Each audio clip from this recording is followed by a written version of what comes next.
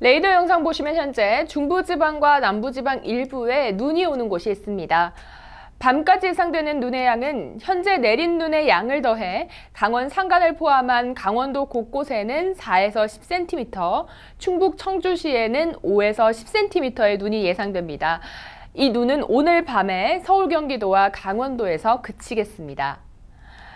현재 오전 8시 40분을 기해 대설 주의보가 내려진 곳이 있는데요. 강원도 동해 산간과 삼척 산간, 정성군 산간, 영월군, 태백시와 충북 청주시에도 대설 주의보가 내려져 있습니다. 이 지역을 지나시는 분들은 안전운전 하셔야겠습니다. 기상속보였습니다.